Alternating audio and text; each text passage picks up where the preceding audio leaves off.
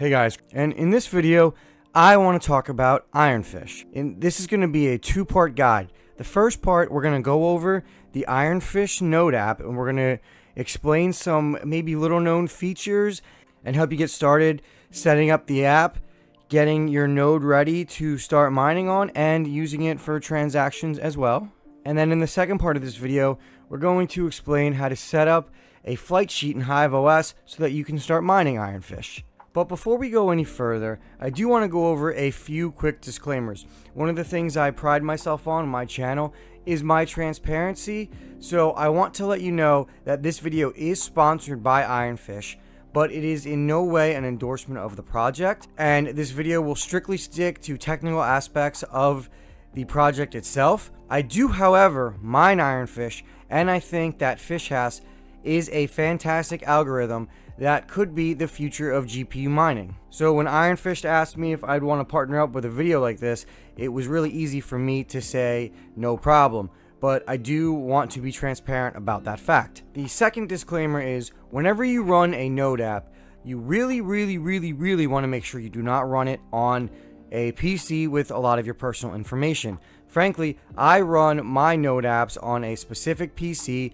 that is not even connected to my main network. And the node you'll see here is literally just for the purposes of using this video, and I'll be deleting it as soon as I'm finished filming it. And now that we have all the disclaimers out of the way, let's show you how to set up your Ironfish node. Alright, so on the Ironfish page, you want to go to the Use section, and then you want to highlight the Node app, and then you want to click Download our desktop application. Then once you click that, you want to click download now. Now you can also get this off the GitHub if you would like, but I would strongly recommend that you go directly through the website and I will have the link down below and make sure you triple check that you have the right link. You do not want to be downloading something that is not the official Node app. Alright, so once you open up the Node app, you're going to have two options, create an account or import an account. And this guide is assuming you have never used this app before. So you just want to step one, you want to click the create account box as highlighted right here in the video. All right, next you want to create an account. Step two, under account name, you want to make your account name whatever you want. It, it, really doesn't matter, just something that you'll remember. And you also want to write it down, which leads me to step three. And this is probably the most important step you're going to make, especially if you plan on storing Ironfish on your Node app, which is the point of using the app. You're going to have a recovery phrase. You're going to click the I button and it's going to show you all 24 words. You're going to want to write this down off the internet. I have an area where I store all of my seed phrases. You don't want to have them on the internet where anyone can access them if you get hacked or anything. Now, obviously, you can save it on your computer, but I would highly recommend you write it down with a pen and a paper and save it somewhere secure. Because if you ever have to recover your Node app, be whether you lose your computer or whatever, this is the only way you're going to get it back. So I cannot stress this enough. You're going to need to write down all 24 words in the correct order. Next, once you get your seed phrase entered in again and you hit OK, which make sure you triple and quadruple check that because there's no going back once you hit OK after you've saved the phrase, you have to set up your node. It's going to ask if you want to disable or enable your tele telemetry data. I leave that up to you. I generally don't enable it, but that is completely your call. Next, you have two options on how to sync the node to the blockchain. You can either download the snapshot, which is faster, or you can choose to sync directly from your peers, which is a little slower, but it helps strengthen the network, and that is a good thing, especially if you're going to start using and the Ironfish network for transactions and for mining. So you can do whichever one you want, but I would recommend syncing from your peers. So here's what the Node app will look like once it's synced. You can see right here, it says synced on the bottom left. You can click on the release notes if you want, which show you the latest release notes, or you could click on the settings and you can actually do things like change it from light mode to dark mode. One of the cool things on the settings, when you have the mainnet, you can switch from mainnet to testnet and it'll generate you new addresses for each so you won't accidentally get your wires crossed and send, you know, mainnet iron to testnet and etc. So it'll keep you from accidentally screwing yourself over, which is a pretty nice feature they have. When you want to set up to send, you go to the address book, you go to create contact, and you will type in contact name, then you'll type in the address. So we'll just say contact name is test one, and then the address. We're gonna make some made up address up. and then you just hit add contact. Now the cool thing is if you try to hit an add contact and it's not a correct address, it'll tell you invalid public address, so you can't accidentally mistype and send it out to the to nothing. So that's a nice part of this node. So assuming you have it set up correctly, you go to the send tab and it'll give you your contact and it'll just show you how much iron you want to send and then you just click send.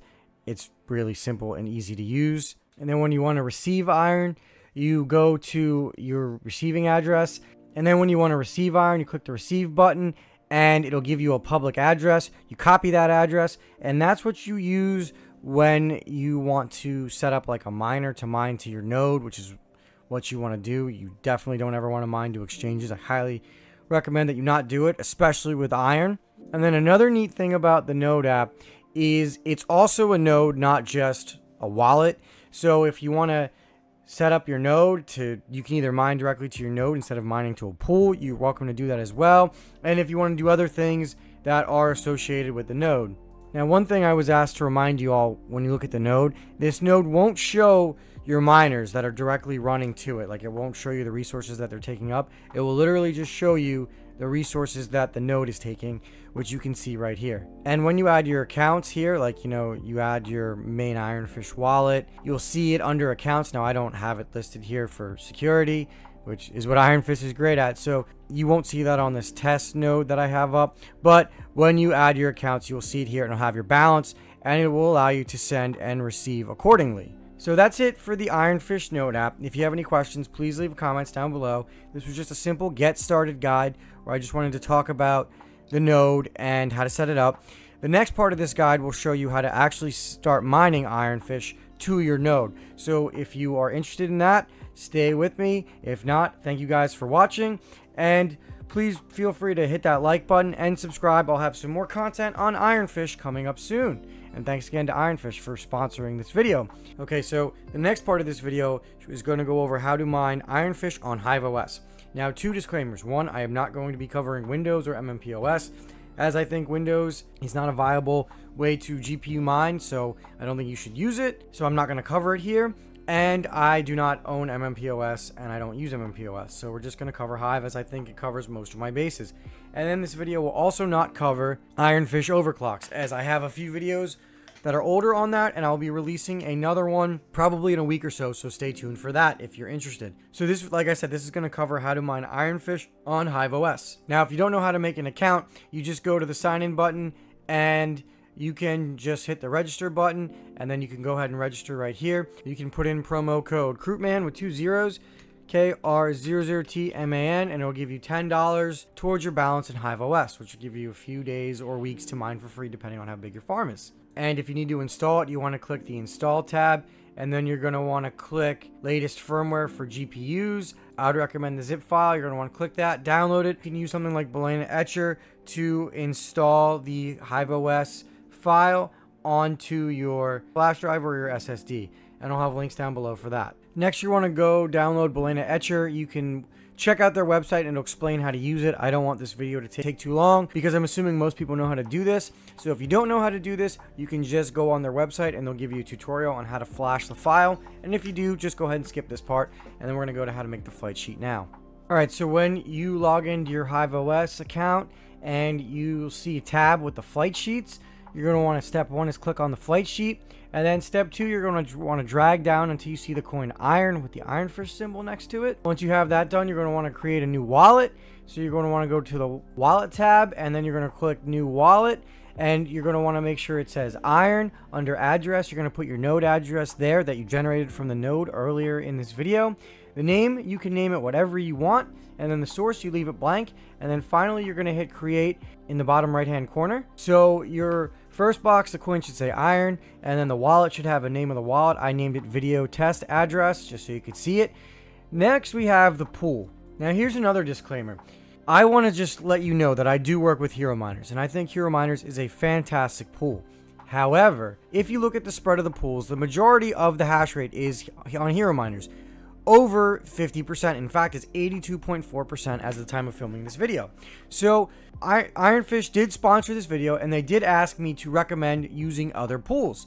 You have other options. You have Kryptex, you have F2 pool, and then you have some other pools. Now, my preferred choice would be F2 pool, as that's what I mine on already, but you're welcome to use any of these pools. They basically would like you to use any other pool besides Hero Miners, and it's not a knock on Hero Miners, it's just that they want to make the network safer and more secure, which is honestly better for everybody. So I'm going to drag to go to the configure pool option. I'm going to select F2 pool. I'm just going to click on the stratum that's closest to me and you can do whichever one's closest to you. So this is what your flight sheet should look like after you have that set up. Next, you're going to want to select your miner.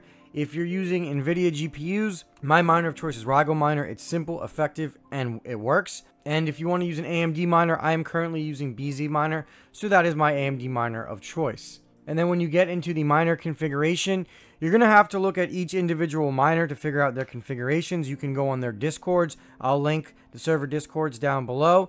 And that's the best way you'll find their configurations. Each configuration is different. I do recommend that you set your overclocks through Hive itself. And again, I'll have another video on that. I'm not talking about that in this video. But you want to make sure your algorithm is selected, that it's fish hash, your worker.wallet template. Right here, you can just see these commands. You just want to make sure this is all in their boxes. Now, this is what comes standard in Hive, so you really don't have to do anything.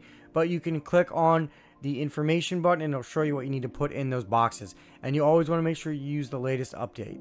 And then finally, you want to just put the name of your flight sheet and then you want to create the flight sheet and you're going to just want to hit the rocket ship symbol next to it to launch the flight sheet on your on your mining rig. Other than that, that's it and then you're good to go.